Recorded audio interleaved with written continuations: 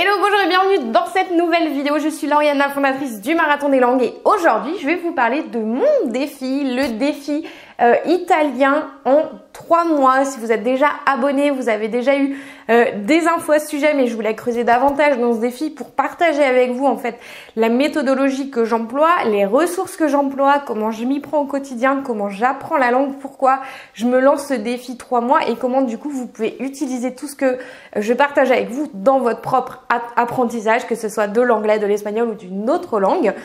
Et euh, je vous, euh, j'ai également euh, lancé le défi sur la, sur auprès de mes abonnés, c'est-à-dire de, je me lance ce défi trois mois. Et l'idée c'est que vous aussi vous vous lanciez ce défi en même temps pour qu'on puisse eh bien se soutenir, se donner des nouvelles pour ne pas abandonner. Jingle.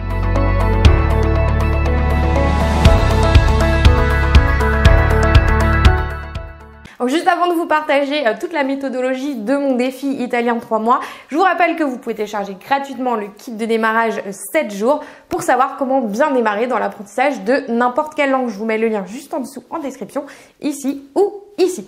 Alors, mon défi italien, parler italien en trois mois. Alors, le défi exact, c'est parler italien en trois mois pour atteindre un niveau B1. Donc, B1, c'est un niveau intermédiaire. Avant que la foule se soulève, mais trois mois, c'est impossible, c'est impossible de parler une langue en trois mois, etc. Je vais vous expliquer pourquoi j'ai fixé ça.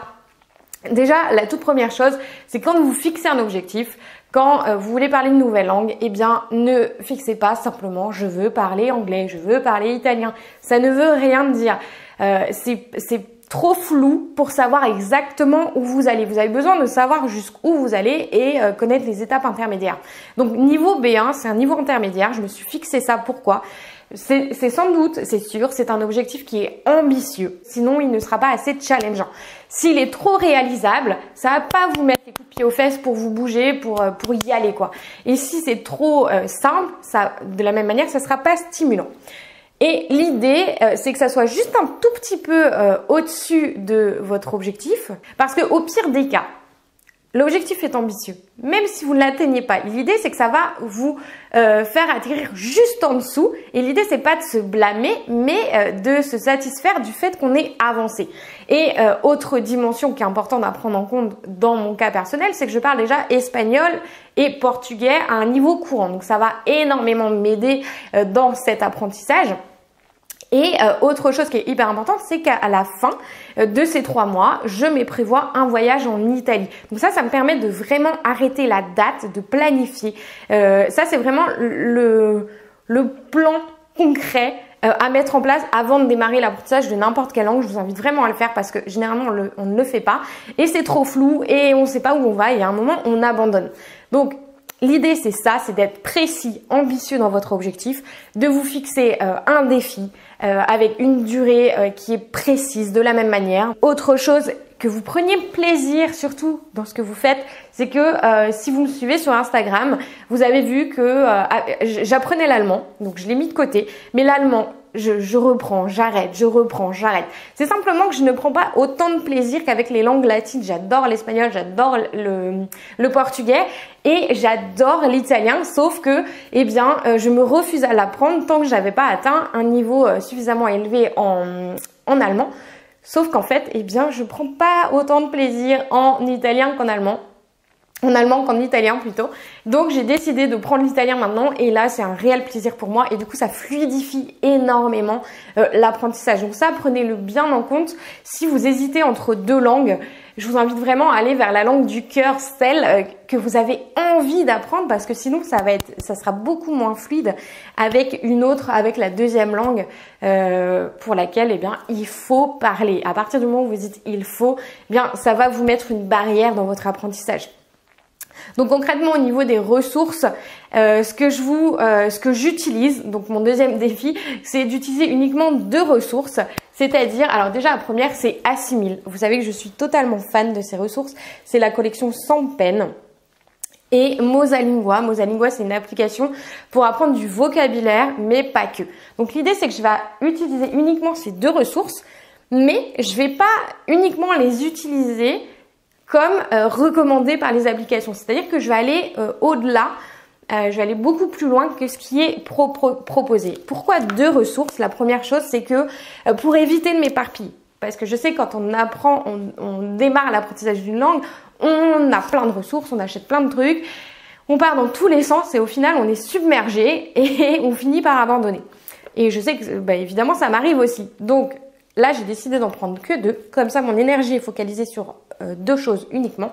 Et euh, ma priorité, euh, ma méthodologie avec ces deux ressources, c'est de me focaliser sur le trio gagnant. Le trio gagnant, c'est quoi?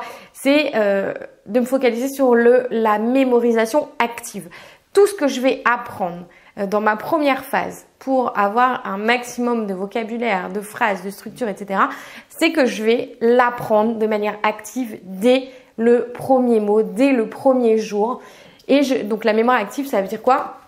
Je vous ai déjà fait une vidéo à ce sujet-là, mais c'est tout simplement de quand je vous donne un exemple. Là, allez, je vais prendre une page, euh, la première page.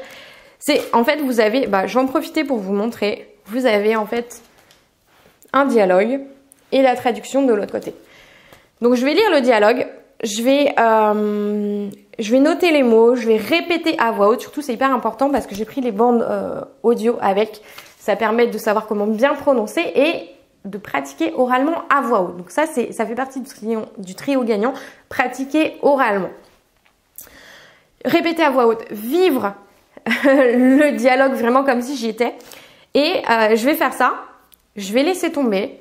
Et quelques jours après ou le lendemain, je vais reprendre le dialogue et je vais le traduire directement prendre le français et le traduire en italien. Et ça, euh, le lendemain, à nouveau, en fait, je vais revenir plusieurs fois sur ce dialogue. Euh, je vais m'interroger sur les mots de vocabulaire que j'ai appris, sur les phrases que j'ai apprises, sur les structures et me poser des questions. Qu'est-ce que j'ai appris hier? Euh, Le refaire quelques jours après. Et surtout, l'enseigner, c'est le, le T, le teach de la méthode FASTER dont je vous ai déjà parlé dans une autre vidéo. C'est-à-dire que je vais dire à voix haute à quelqu'un d'autre ce que j'ai appris. Je vais lui enseigner ce que j'ai appris parce que le fait de le reporter, eh bien, ça euh, permet de mémoriser de manière active et euh, ça va venir s'installer dans la mémoire à long terme. Et ça, ça va me faire gagner énormément de temps et je le vois euh, déjà, je vois vraiment la différence par rapport à, à mes premiers apprentissages avant quand j'essayais d'apprendre l'anglais comme à l'école. Eh bien, euh, déjà, ça, euh, l'avantage de ça, c'est que déjà, ça donne confiance en soi parce que on a des résultats immédiats, c'est-à-dire qu'on sait mémoriser, on sait reporter, on sait l'utiliser. Donc ça, ça donne la confiance et on entre dans un cercle vertueux qui donne envie de continuer, de motivation, etc. Et avec Mosalingua, l'autre chose, c'est que en fait, Mosalingua, c'est une application qui permet euh, d'apprendre du vocabulaire avec euh, des, des, cartes mémoire qui se focalisent sur la courbe de l'oubli. Donc je sais que c'est vraiment très efficace, c'est une ressource que j'utilise à chaque fois. Et en plus, elle applique la méthode 20-80, donc le fait d'utiliser 20% des mots de vocabulaire utilisés dans 80% des situations, donc les mots les plus euh, utilisés. Euh, donc ça pour apprendre du vocabulaire et en plus ce qui est génial sur Mosalingua maintenant c'est que vous avez des dialogues donc avec euh, donc l'italien pour l'italien mais vous l'avez en différentes langues vous avez euh, les sous-titres en français, en anglais, euh, en, français dans la langue que vous apprenez. Vous avez le, euh, ben, la, prononciation. Et il y a autre chose aussi qui est génial, c'est là le mode main libre. C'est-à-dire que quand vous êtes en train de conduire, quand vous êtes en train de faire autre chose, que vous ne pouvez pas être sur votre appli, eh bien vous avez des mots qui sont dits ben, en français et vous devez le traduire à voix haute tout seul. Euh, dans la langue. Vous avez un laps de temps pour, euh, pour le faire. Et les mots sont répétés comme ça de la même manière. Donc si un jour vous n'avez vraiment pas le temps euh, de faire votre votre votre défi, eh bien vous pouvez toujours faire ça en faisant autre chose. Et quelque chose que je voulais partager également avec vous, c'est sur Assimile. Oui, c'est ça, très important, j'avais oublié entre temps. c'est vous avez une page. Ce qui est recommandé, c'est de faire une page par jour. Il y a 100, euh, il y a 100 leçons, c'est ça? Alors au début, ce que je faisais, c'est que je me mettais la pression en me disant allez, il faut absolument que je fasse ma leçon du jour, euh, etc. Sauf qu'aujourd'hui, avec l'italien, j'ai adopté une autre, euh, une autre manière de faire qui est beaucoup plus bienveillante envers mon apprentissage. C'est-à-dire qu'au lieu de me focaliser sur mon ego, à me dire ouais j'ai fait j'ai fait une leçon, j'ai fait deux leçons, j'ai fait 50 leçons en 50 jours, euh, ce qui n'a aucun sens sur le principe parce que euh, c'est voilà c'est rayer sa to-do list, ça donne une direction d'accord, mais le jour où on est fatigué, le jour où on n'est pas en état de bien mémoriser, ça sert à rien de venir saccager votre confiance et votre mémoire. Donc ce que je préfère faire, euh, c'est de, euh, c'est de, prendre plusieurs jours peut-être pour une leçon, mais d'être sûr de l'avoir mémorisé. C'est-à-dire que euh, je vais avancer, reculer, avancer, reculer. Et c'est pas parce que je vais reculer dans le bouquin que ça veut dire que j'aurai régressé. Et c'est la même chose pour vous. C'est pour ça que je vous le dis, c'est que je vois souvent, je vous vois souvent hyper perfectionniste, hyper exigeant et difficile avec vous-même. Mais ce qui est important, c'est votre mémorisation. Donc c'est plus important euh, de revoir plusieurs fois, de bien l'avoir mémorisé et de continuer peu à peu plutôt que de dire allez, moi j'avais décidé 49 euh, leçons en 49 jours et, euh, et basta. Ça va être ça va être beaucoup plus stressant pour vous. L'idée c'est vraiment d'avoir une régularité au quotidien plus que de rayer sa to-do list. Est-ce que j'ai tout partagé avec vous? Oui, j'ai tout partagé avec vous. Du coup, j'espère que cette vidéo vous aura plu, vous aura donné des idées, vous aura donné envie euh, de vous lancer également euh, le défi.